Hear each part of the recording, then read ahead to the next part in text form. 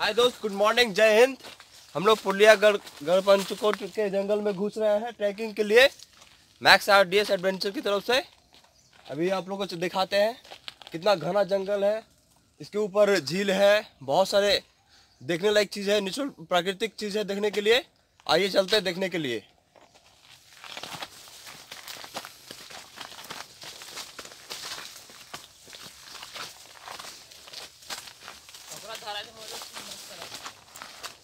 हाय हिंद, good morning. मेरा नाम बालेश्वर कुमार है। मैं धनबाद से हूँ और ये मैं पंचकोट ट्रैकिंग के लिए आया हूँ और ये पूरे घने जंगल है, यहाँ पे पूरे पहाड़। और मैं ये बहुत ऊपर की ओर जाने के लिए मैं सोच रहा हूँ। और मैं ये ट्रैकिंग करते हुए जा रहा हूँ। दोस्त, मैं फिर आपके सामने आ गया, जैसे कि आप देख रहे हैं। काफ़ी ऊंचाई तक हम लोग पहुँच चुके हैं। जैसे कि आप देख सकते हैं, काफ़ी ऊंचाई तक पहुँच चुके हैं। लमसम थोड़ा सा रास्ता तय हुआ, बाकी आसमान को छूते हुए चोटी को देखिए। उसके बाद मैं भी थोड़ा सा थक चुका हूँ, लेकिन फिर भी ट्रैकिंग तो करना ही है।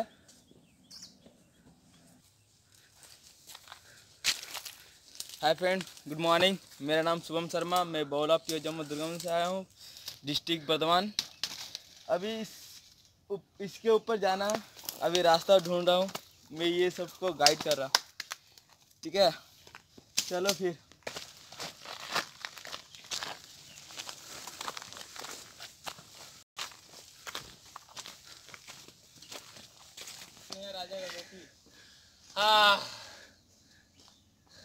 वहाँ से हम लोग का टेंट सबसे बड़ा दिख रहा है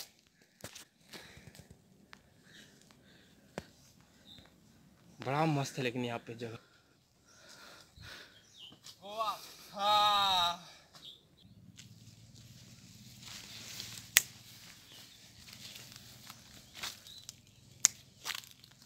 हाय फ्रेंड जैसे कि हम लोगों ने आधा से ज़्यादा रास्ता पार कर लिया है आप देख सकते हैं ये राजा का मेन गेट है जहाँ पे सैनिक लोग खड़ा होकर के शत्रु को देखने का या फिर कोई भी आदमी आए उसको देखते थे और बाकी फिर अंदर अंदर लाल इनका किला है और उसके ऊपर भी काफ़ी ऊंचाई का पहाड़ी है। आप जैसे देख सकते हैं। और अंदर किला बहुत बड़ा किला है। आप चलिए अंदर दिखाता हूँ आपको किला।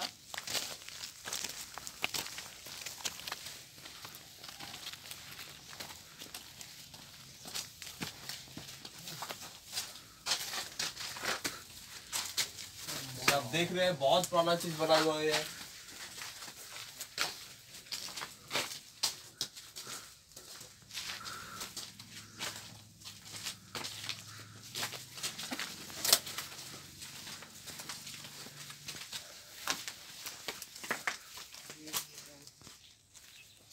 जैसे आप देख रहे हैं, ये पूरा किला है, जिसमें राजा परिवार को रखा था, सुरक्षित रखा जाता था।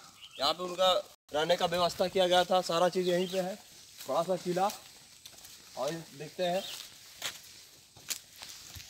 चल। ये उनका महल का ये है, डिज़ाइन बना हुआ।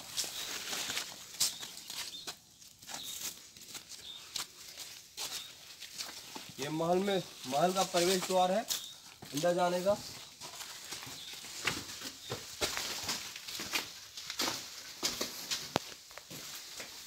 तो काफ़ी बंद हो चुका, बहुत पुराना है, फिर भी बंद बंद हो चुका ये।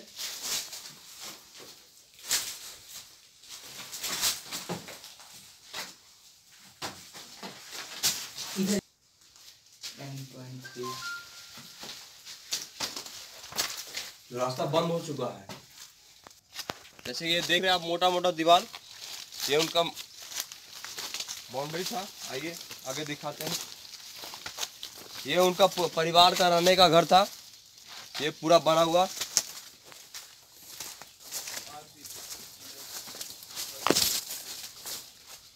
और भी ये काफ़ी बड़ा बना हुआ था, लेकिन इसकी मरम्मत की ना वजह से ये पूरा टूट चुका है।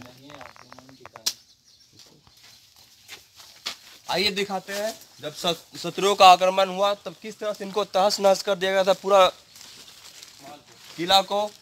दिखाते हैं ये, और इसके बाद फिर ये मेंटेनेंस नहीं हो पाया, उसके बाद से ये ऐसा ही रह गया ये चीज़। ये दिखाते हैं आपको हम। ये राजा का पुत्री लोग यहाँ पे रहते थे। जो भी उनकी बेटियाँ थी, इसके अंदर ही रहते थे वो।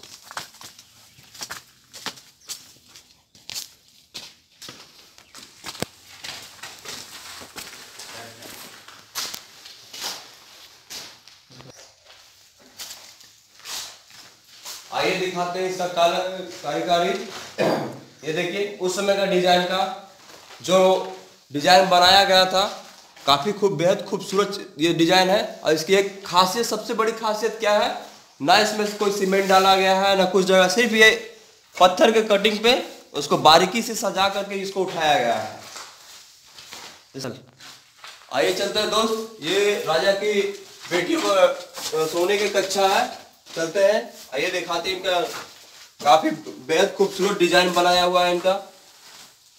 गेट में प्रवेश द्वार में देखिए। काफ़ी बेहद खूबसूरत है। आइए दिखाते हैं।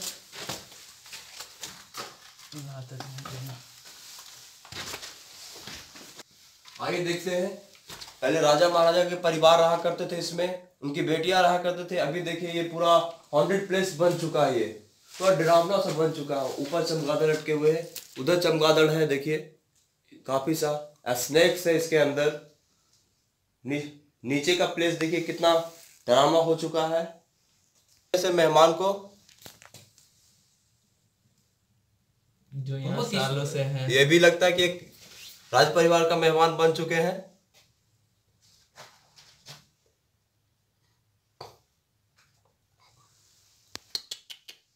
ये हॉन्टेड उनकी कक्षा में लटकते हुए चमगादड़ों को ये बहुत ही डरावना हो चुका है उनका रहने का कच्चा। ये कितना डरावना हो चुका, कितना चमगादड़ों का इसमें वास हो गया है। चमगादड़ है। चलो। आइए दोस्त, आगे चलते हैं, अब आगे आपको दिखाते हैं और महल के कितने सारे दर्शनीय चीज़ है। और ये काफ़ी बड़ा किला था। जैसे ये तो शुरुआत है आगे चले दोस्त, मैं आपको दिखाता हूँ।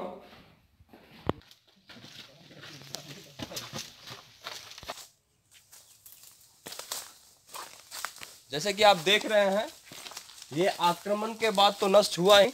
ना मेंटेनेंस के बाद इसको मेंटेनेंस नहीं मिलने के बाद ये पूरी तरह से पेड़ों की तरह इसमें आ गया। उसके बाद ये धीरे धीरे ये चीज़ लुप्त होते जा रहा है। आप देख सकते हैं पूरी तरह से।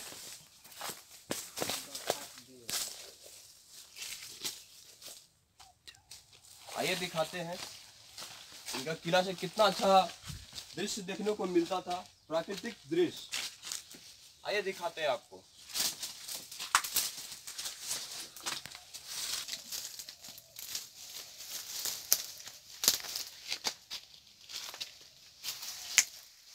जैसे कि आप देख रहे हैं, ये ये द्वार को, ऐसे काफ़ी द्वार इसमें बने हुए हैं द्वारपालों के लिए आने जाने व्यक्तियों को नज़र रखने के लिए।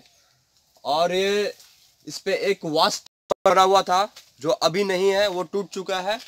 वो था शत्रुओं को नज़र रखने के लिए, दूर से ही वो देख लेते थे। लेकिन ये, इस किले का एक ऐसा खासियत है, जो ये बीच जंगल में है।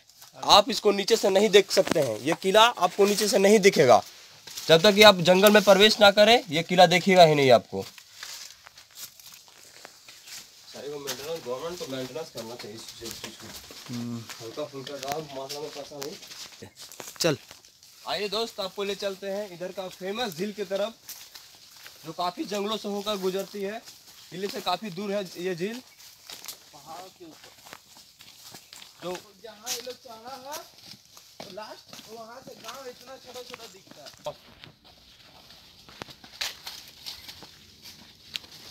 जंगलों के बीच प्रवेश कर रहे हैं हम लोग।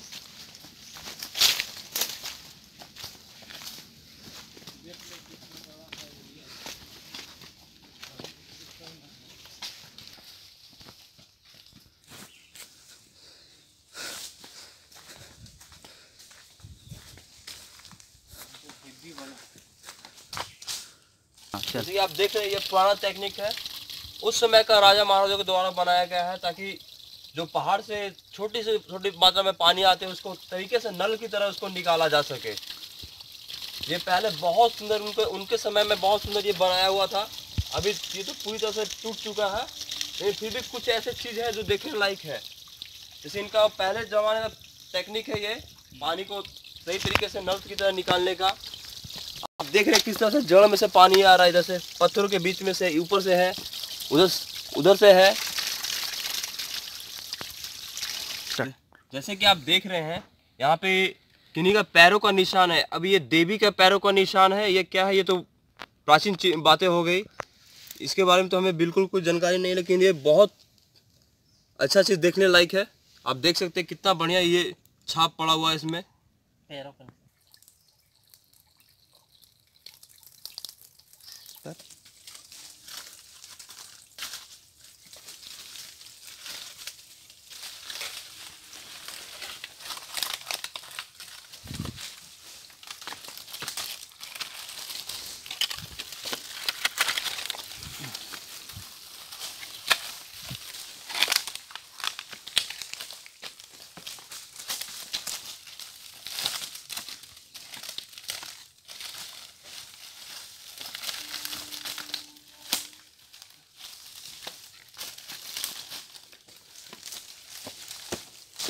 डिस्पोजल का भी यूज़ ना करें सर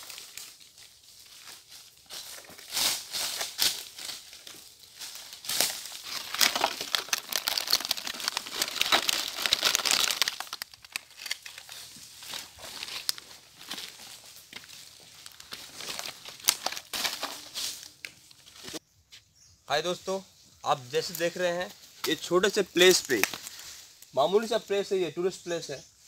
उस पर डस्टबिन किए सफ़ाई किए, ये इतना सारा कच- कचरा निकला। थोड़ा सा प्लेस पे इतना सारा कचरा निकला।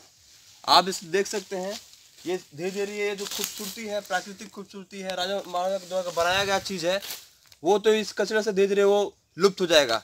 पूरा बर्बाद हो जाएगा वो चीज़। तो आपसे बस एक रिक्वेस्ट है कि जितना भी टूरिस्ट लोग आते हैं घूमने के लिए टूरिस्ट प्लेस पे आते हैं घूमने के लिए, वो बिल्कुल अपने साथ खाने पीने का सामान लेके आए वो रेफर लेके आए, लेकिन उसको एक डस्टबिन कर करके, नीचे ले जा करके डस्टबिन पॉइंट में डाल के, वो अपना इस जो टूरिस्ट प्लेस को है, ये प्राकृतिक जो दृश्य है, उसको आप बचाएँ। सबसे इसको हम बचा सकते हैं। कैसे? जो पत्ते की थाल आती है, उसको यूज़ करेंगे हम। ना उससे कुछ पर्यावरण को नुकसान होगा, ना कुछ होगा, ये सुंदरता, जो प्राकृतिक सुंदरता है, दृश्य है, वो बचा, बिल्कुल बचा हुआ रहेगा। इस चीज़ को हम ले जाके नीचे डस्टबिन करेंगे डाल देंगे और आप सभी से निवेदन है कि जब भी आप टूरिस्ट प्लेस पे आते हैं घूमने के लिए तो आप पत्ते की थाल लेके आए। बहुत थक गया अब नहीं होगा। अब हमसे चला नहीं जा रहा। देख ले हाय। आ गया। अभी हम लोग अपना ट्रैक ख़त्म करने वाले हैं। एक्चुअली मैं अपना चार पाँच स्टूडेंट को लेके पुरुलिया गढ़ पहाड़ का जो मिस्टीरियस है तो उसको दिखाने लाए थे। एक्चुअली इस जंगल में पहले तो और घना जंगल था तो अभी नेचर भी कम होने जा रहा है, आदमी के वजह से। और फिर यहाँ पॉल्यूशन भी बढ़ जा रहा है। तो इस एरिया को हम लोग एक टूरिस्ट जोन है। तो इस टूरिस्ट जोन को और भी खूबसूरत बनाने के लिए और भी एडवेंचरस जो प्लेस है, आदमी के पास पहुँचाने के लिए वीडियो बनाने का हम लोग का मकसद है। एक्चुअली यहाँ पर बहुत लोग इस ट्रैकिंग रूट पे पूरा रैपर फेंक गया थर्माकोल का प्लेटें फेंक गया। प्लीज़ इस सब मत कीजिए। अगर आपको करना है, आप इस सब चीज़ को डस्टबिन कीजिए प्रॉपर तरीके से। और इस ट्रैकिंग रूट में काफ़ी जानवर है, जैसे हाइना है, फॉक्स है, और भी कुछ जानवर है, रॉक पाइथन है। तो इसको हानि मत पहुंचाइए। ये भी यहाँ का उनका घर है, हम लोग उसका घर में घुस रहे हैं। तो ध्यान रखिए उसका कोई और इस जंगल में प्लीज़ कभी भी अकेला मत आइए। जब भी आएँगे, कोई लोकल गाइड लेके आप आइए। और यहाँ पर नाइट स्टे जंगल का बीच में मत कीजिए प्लीज़। आप लोग नीचे टूरिस्ट जोन बना हुआ हुआ है तो नीचे रिजॉर्ट है काफ़ी तो उसमें आप लोग रह सकते हैं। यहाँ पर सरकार द्वारा व्यवस्था किया गया है, यहाँ खाने पीने का व्यवस्था सब कुछ है। इसका लोकेशन में टोटल चार पाँच रिजॉर्ट बन चुका है। तो प्लीज़ आप वेलकम सभी को। ये एक्चुअली वेस्ट बंगाल पुरुलिया ज़िला में है। पुरुलिया ज़िला में इस इस जगह का नाम है गढ़ पंचकुट इसमें पहले राजा का एक क्षेत्र था, यहाँ राजा का महल था, सब कुछ था, बहुत पुराना। उनका फैमिली में अभी कोई है तो उतना पता नहीं है हम लोग का उसका हिस्ट्री के बारे में। बाकी यहाँ पर जो है, पूरा इस पहाड़ था उन्हीं का तो उनका एक केला बसा हुआ था। अभी वो एक हंटिंग प्लेस बन गया हंटेड प्लेस बन गया यहाँ पर। मतलब बहुत कोई लोकल जो लोग बोलते हैं मतलब बहुत डरावना चीज़ बताते हैं इसके बारे में। तो यहाँ पर एक मिस्टीरियस प्लेस बन चुके रह गया। तो टूर घूमने के लिए सबसे बढ़िया प्लेस इससे ज़्यादा नहीं मिलेगा इतना अच्छा नेचर को आप लोग इन्जॉय करेंगे। और यहाँ का वेदर बहुत ब्यूटीफुल है। Thank you and good bye